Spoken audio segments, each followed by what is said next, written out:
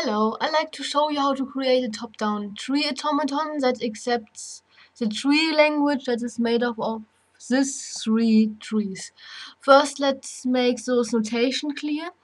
And every time you see this in this bracket format, you have the um, you have a node on the outside of the brackets, and in the inside you have their its child node. So the first tree ABC, it would look like this he would have the A. And then in the brackets there are the children that are B and C in this order. The second tree has a B as root node and its children are B and C. And the third tree has an A as root node and its children are B and A. So it might look complicated at some times, but exactly it's really simple. And then we want to create a tree, uh, the tree automaton, and this uh, five tuple. It consists of a set of states and our alphabet. And when I draw the automaton, you will exactly know what the state and what the alphabet, the alphabet is. And we have a initial state, Q0, or whatever you want to name it. Then we have a set of final states, and we have the transition definitions. And now we want to, well, we let's just focus on the transitions. Our transitions will be a set of tuples. Well, and let's say we are in the initial state and when we are at the state we want to be in, we write it at the first place. And then we want to write the letter that we are reading or the symbol that we are reading. And well, let's imagine we want to read the first tree. So first we want to read that A.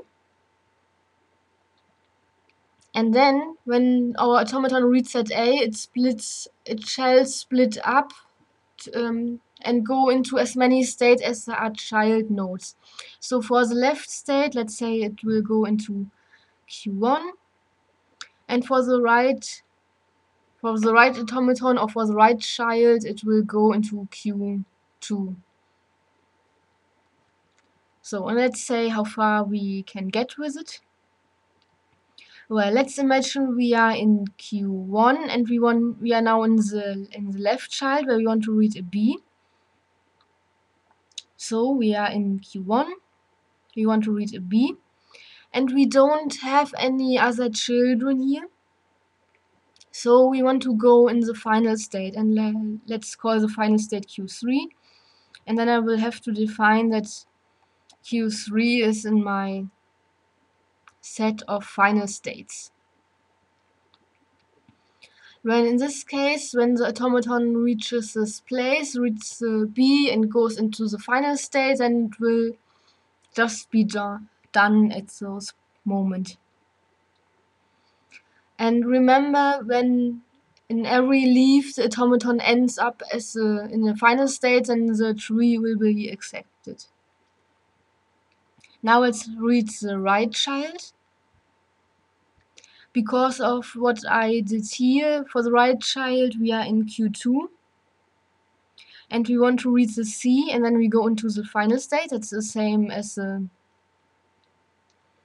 well it's the same as we did for the B. But uh, yeah at this moment our tree automaton can only read the first tree one but we want to make it that it can read the other trees as well so now because uh, we have to always start in our initial state we for the second tree would we would also be in q0 and we want to read the b. Well let's see. We have um, well we can actually we can do the same as we did for the first tree because our children are called b and c and um, well that's there there are no other children or anything that we have to take care of so it's the situation here is the exact same situation as here, so we can just say we go into Q1 and Q2 and then we will be we will be fine with it. So, but now we have a tree we have to take care of. Well, and remember, this is just, this is just one solution I show here. There, there may be some others. Well, for the tree, well, we are in. Well, the automaton could uh, read from. It could. It could use um, this definition here and go from Q0 to Q1 and Q2. But then the left one would be um, must be um, Q1 as it is here, and that would be fine. But um, the right one would, um, yeah, the, the right side would fail because here it would accept a C. And I can't add an A for that because if I would add an A for Q2, then I would, then I could also read an A, let's say, at this place, and that's not what I want. That's why I use another state for every for every different symbol that I could that could occur, so that uh, that the automaton won't act, act, accidentally um, mix things up. So I will just say, I will for this third tree I will add another rule. I will say well, if I'm Q, if I'm in Q0 and I read an A, then I could also go into Q1 and Q4. Well, and Q1 is my state where I read the B and go into uh, go into in the final state, and Q4 will be a new state where I can read those child A node well and I don't want to go into Q, Q0 because you might think oh I have a rule where I can read um, an A with Q0 but then I could also read any bigger trees that would um, demand any child nodes here and that's not what I want.